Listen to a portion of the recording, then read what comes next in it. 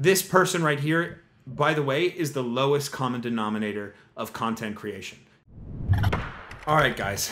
So this video, when I wanted to make it originally, which was last night, I was a little bit more fired up. And I just planned on going straight Alex Jones mode about someone who's I, I feel is wrongdoing the I guess you could say fitness community, strength community, whatever community it is that people are a part of when they want to do physical activity, usually with barbells. But I've decided to take more of a pragmatic approach and and try to look at this from the outside, really, uh, and and come up with more of a thesis around why things like this happen continually. Uh, I did a video on Noble a little while back, and I talked about it as the idea economy. And basically, it's like producing the market before actually having a good product. And whether that product is good or not, fulfillment of those sales is something that a lot of these people forget about as well. But this is slightly different. I like to think of, you know, that whole Gary V hustle culture movement back in 2015.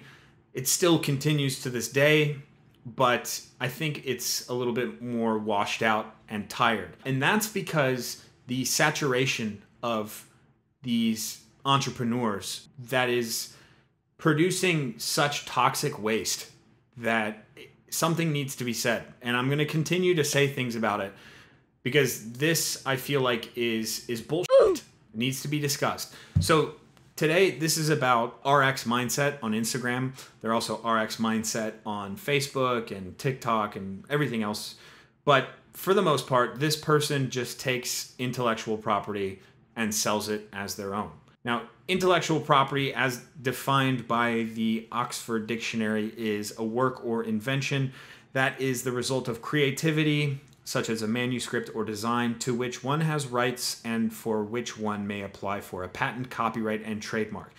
So, the weird thing about intellectual property in this kind of modern internet era is that it's very blurry because we have people who you know gary vee saying go out to amazon marketplace and sell things and um, go out you know there's so many different avenues for people to take whatever they have and sell it and let the market determine what is good. But we have people that kind of manipulate these algorithms and they don't really work that hard. They're not really hustling that hard. They just kind of got lucky. And by using other people's work, they've become very successful. RX Mindset has 41,000 Instagram followers, 72,000 uh, followers on Facebook a lot on TikTok or whatever, wherever else. And they've been doing this for three years now, and nothing's really coming of it. So this is from the Barbell Physio, and this is the, the owner of RX Mindset is the owner, I believe, of Pacifico CrossFit. And uh, he has been caught repeatedly scamming the online fitness community with online programs. It started with Greg Everett from Catalyst Athletics. That program, and I want to find that actually, because that one is just funny because it's just a blatant rip, like 100% just just a blatant rip. Okay, here we go. You'll see right from the first paragraph, uh, they just take out the words Greg Everett used to train for the 2014 American Open. And the rest of it is exactly the same. And the program itself, 12 weeks, exactly the same. Not even, I don't even think they changed the format that's just a blatant ripoff. That's that's garbage. This person was called out on it, right? They looked into more. People looked into more of what this guy sells, and uh, the barbell physio actually noticed they had been stealing other things too, as well as like a strict muscle up program. Um, so get your first strict strict muscle up in eight weeks. This is a direct rip from the barbell physio.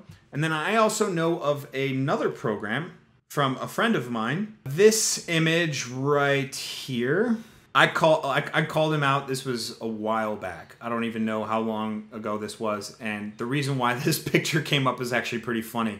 Uh, this loser RX Mindset is selling a direct copy of the WOD Prep program, and he's literally using a picture of Ben, the creator of WOD Prep, on it. So I thought that was funny. So that's another ripped program Uh, and then if I actually go to the conversations I've had with RX Mindset, and I ended up deleting that, but that Instagram story was saved up there. And then I purchased the 12 week weightlifting program from RX Mindset. Hey friend, when can my when can I be expecting my program to be sent? I'm ready to train hard with some uh, some good emojis there. Said, "What's the order number?" So it was weird. First off, buying it, you just send them a PayPal, 30 bucks on PayPal, and then they send you an email with a uh, a Google sheet or sorry, a Google document attached to it. And I looked at the program and you know, it was whatever. It I'm sure some of it's ripped, and I'm sure you know he changed just enough to make it look like he's not ripping off of someone else. But today, before I was going to make this video, I was actually deciding whether I was going to do it or not. I, you know, I leveled with him. I said, "Listen, man, I purchased your program to see if you've been copying my programming, which is up on Patreon for a dollar. And by the way, you guys can all be pieces of go on my Patreon, spend one dollar, take every program off of it and send it to people. And if you want to do that and be a piece of shit, that's fine. That's, you know, I don't place too much value on programs because the value I place is on my coaching. Numbers on pages don't make me who I am. I am not a number. I am a free man. It sucks that that's kind of the way things are and you know the legality is a little iffy, but I have faith in the community that follows me and that people want to see more content from myself and that they wouldn't do something like that. Again, I'll never know. I was worried that he had been copying my program. I'd seen you'd copied content from Voodoo Weightlifting. There are multiple articles pointing out this fact as well. I personally think it's shady, but it's hard to tell if it's illegal. You seem to be a good family man, and I'd like to give you the benefit of the doubt here. What were you thinking when you took people's work and used it for a profit? Was it because you saw it as fair game? Is it for a fact not illegal? I just want to know why.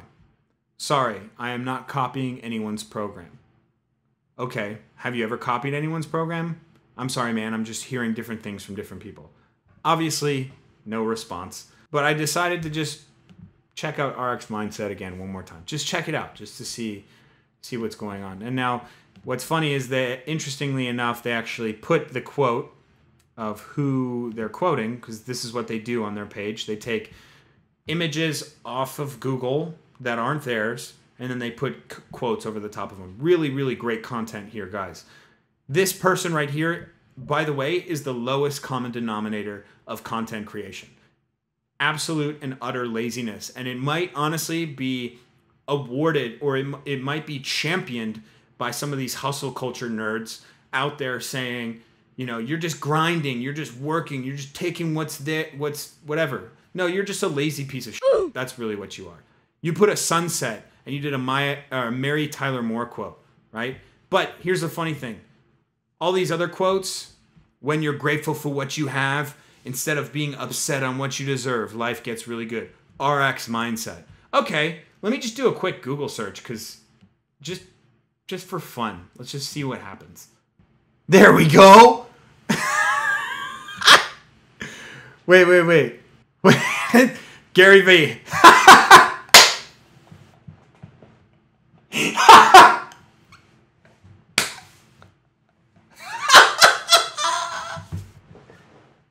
got a cut, dude.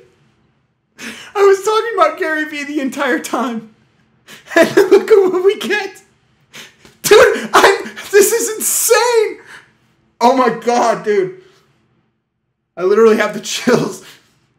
Oh my god. okay, let's keep going. Let's keep going.